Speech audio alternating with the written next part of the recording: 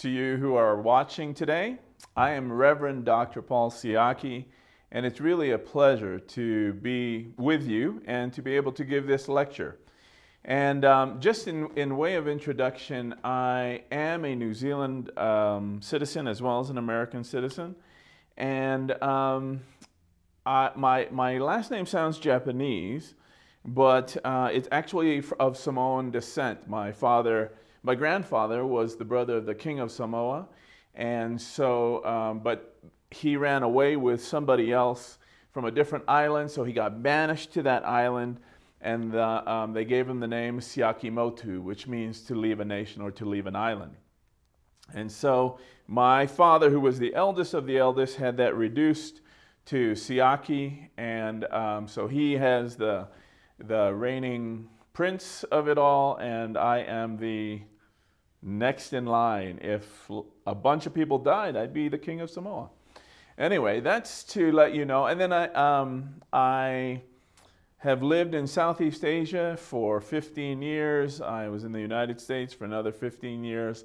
I got my PhD there in missiology, which is the study and the theology of mission, basically, and studied in Israel which um, eventually led me. I, I just I was in a Baptist church and an Anglican, I mean not Anglican, uh, in evangelical churches as I was growing up, and um, I had never met an Anglican in my life. And while I was in Israel, I uh, did research into all the different denominations that were available. And um, I arrived at Anglicanism, which I thought God was joking with me. So um, I'd never met an Anglican, never been to an Anglican service, and there is a reason for being an Anglican, but that's for another lecture if Eben ever, Father Eben ever invites me back.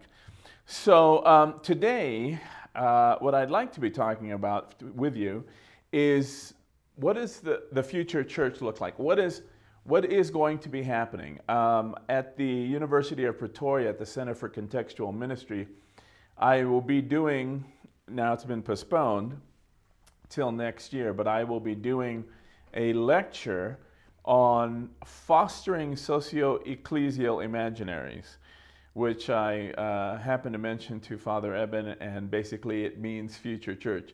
It's just the academics like to make it sound all fancy. Um, but in terms of talking about ecclesiology, which we will touch upon today, Ecclesiology is the study of the context of the situation where the gospel is and the traditions and marks of church and mission down through the ages. Okay, so I want you to think right now how has lockdown changed your paradigm of church? How has that caused you to think differently about church? And I want to ask another question. It's kind of a chicken or egg question.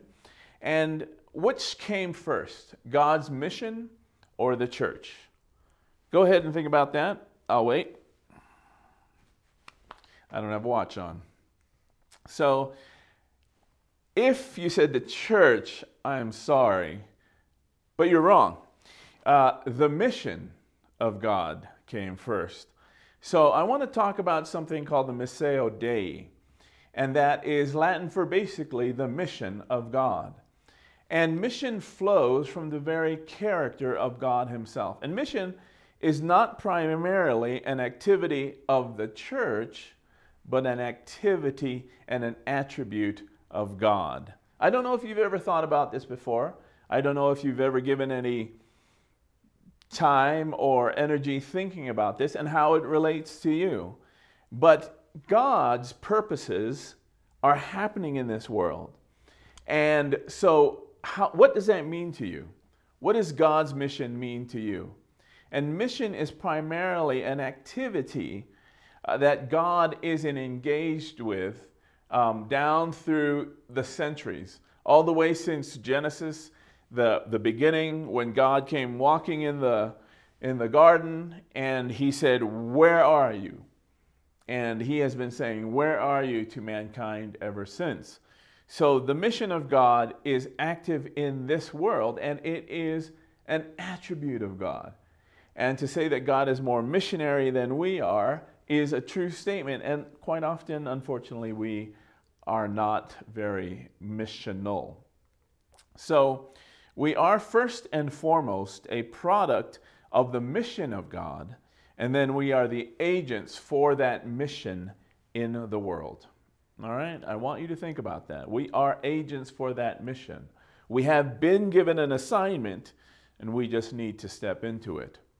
And the church has always been a community called together to be equipped to go back out and engage in what God is doing in the world. I love a quote by theologian uh, Emil Brunner, and he says, The church exists by mission as fire exists by burning. So, again, think about that. How does that challenge your paradigm or thoughts about church? Uh, have you actually thought about the fact that church should be um, mission oriented and really propelled along by mission? And if you think about it, it is the key thing in terms of the church itself. I mean, if you think about it, in AD 100, there were only about 25,000 Christians.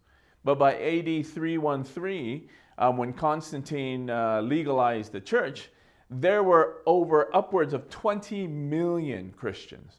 So, how could something like that happen? I mean, Christianity was an illegal religion. They had no church buildings to meet in. They didn't have the scriptures that we have today. They didn't have institutions, no denominations or seminaries for training, no advertising or marketing schemes. And in fact, they actually made it very difficult to join the church. They had a long initiation process before someone was allowed to come into the church. So it's amazing to think how does how did that church, how did Christianity survive? Well, it was the, the, the continuation and the involvement in the mission of God. It was God moving forward his mission, and the church grew in that way. Christianity grew in that way. I'm going to give you some quotes about mission that you can decipher for yourself as possibly true or false. And the first one is It is not the church of God that has a mission in the world, but the God of mission who has a church in the world. All right? Did you get that? It's not the church of God that has a mission in the world. So it's not the church doing things that, that says, oh, okay, we're going to do this outreach. We, we're gonna, we've got this that we want to do. But it is the God of mission who happens to have a church that is helping out in that mission. Okay? Another one. Mission is finding out what God is doing and joining in. And perhaps you've heard that one. And what that is, is it's basically just showing again, God is moving. And so, where is He at work? He's going to be moving whether we're part of it or not. So we need to ask ourselves, where is He at work and join in with Him? This one, God works only in and through His chosen people, the church. Well, I hope you realize that that is false because God is at work no matter, no matter what. He has used um, evil kings, as you know from Scripture, and emperors like uh, Cyrus and a number of people, and there are those who believe that God is using Trump in some way. Okay, no, don't let, don't get me going. Um, but there's there's a number of, of things where we see God already happening. When um, it escapes me now, Philip went to to see the eunuch was already reading the scriptures. So God is at work. Let's find out where, where He's at work and join with Him. Mission is primarily about growing the church. Again, we're thinking that the end goal of what we're doing is for the church. But the end goal is again to advance the kingdom of God, to think about the reign and the kingdom of God here on earth and how we advance the mission of God.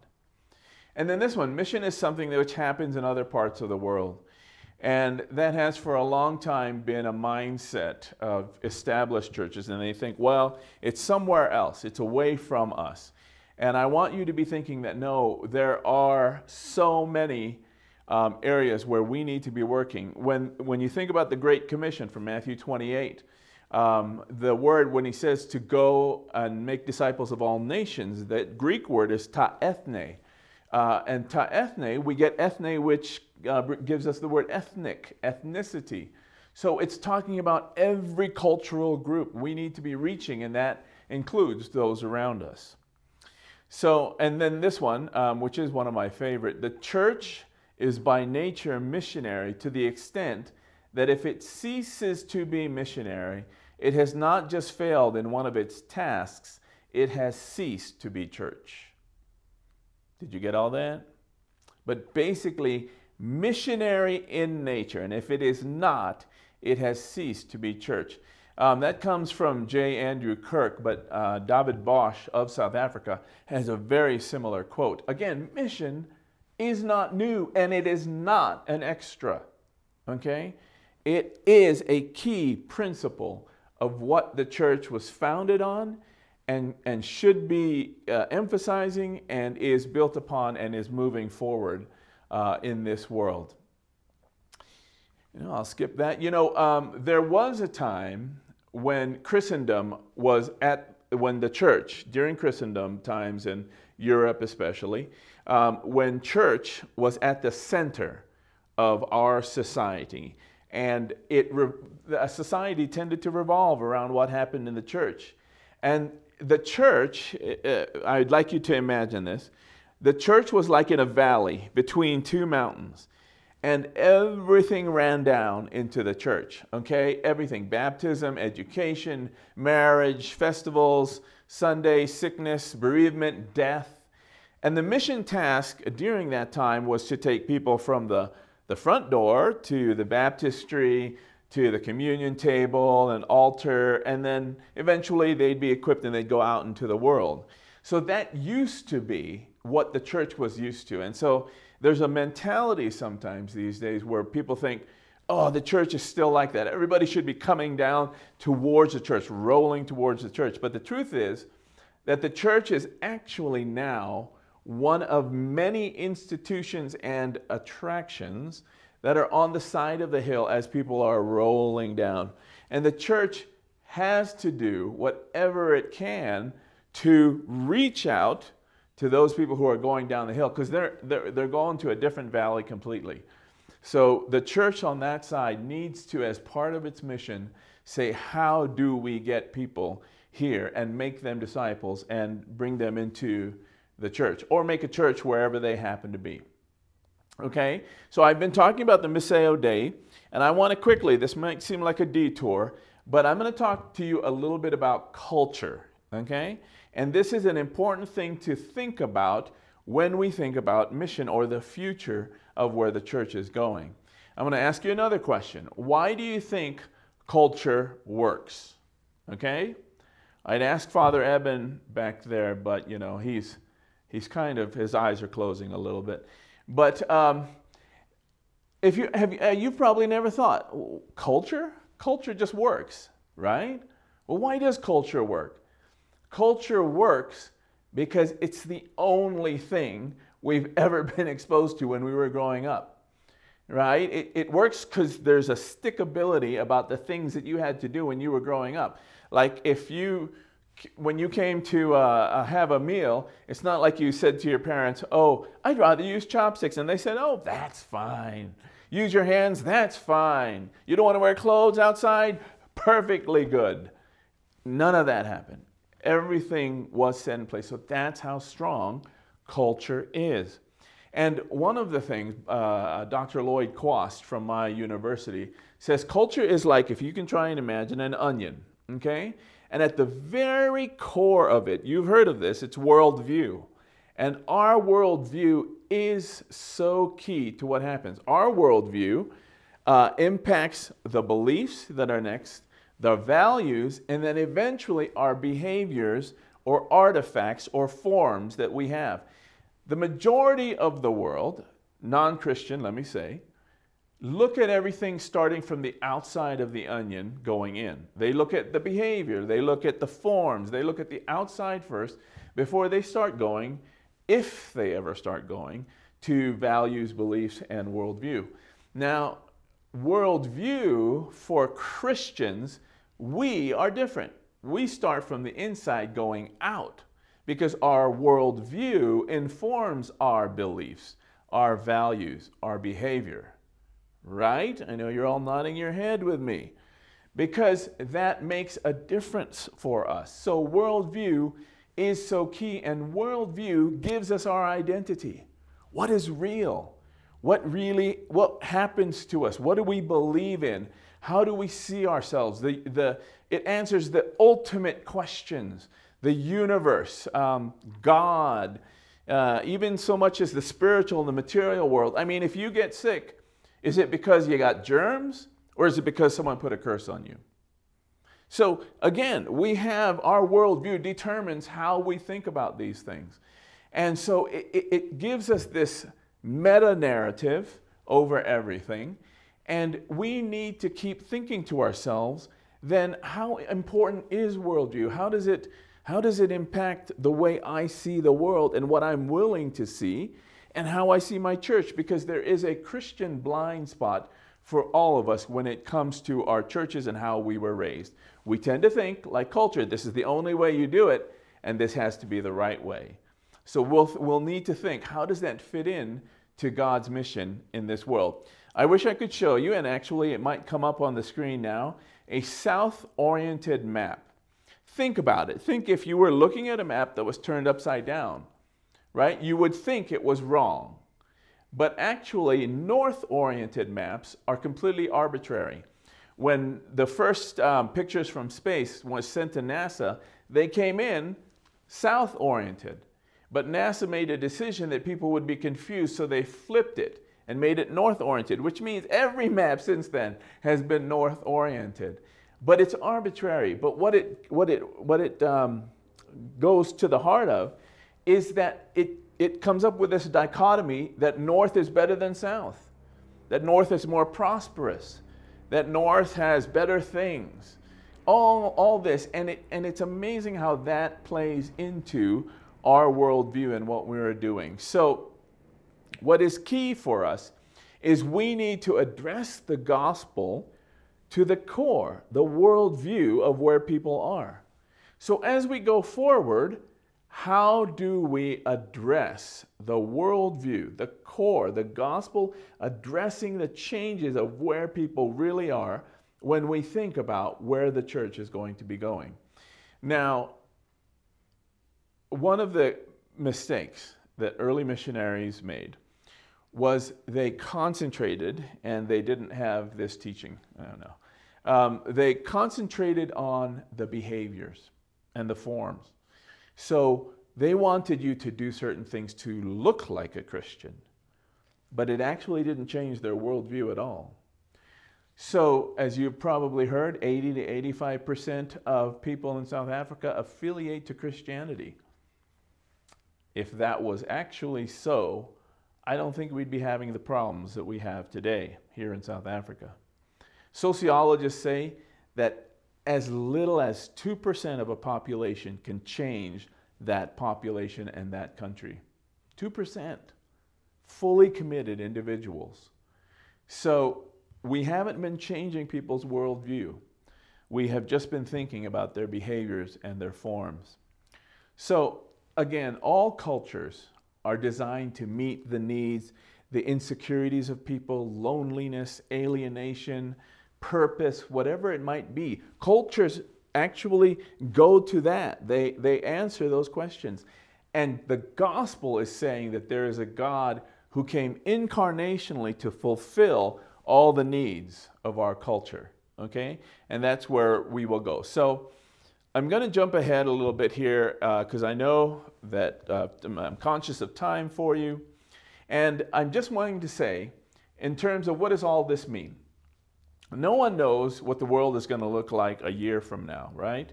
And so I wanted to focus on principles and especially our mission as the church.